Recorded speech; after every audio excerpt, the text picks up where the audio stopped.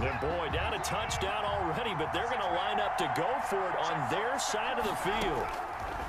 From the gun, here's Watson. Going up top.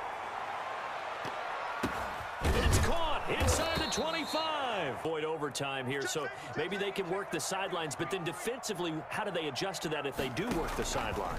It's the old leverage game. And, we and this is going to be intercepted. Picked off at 18. Now he'll be marked down at the two-yard line.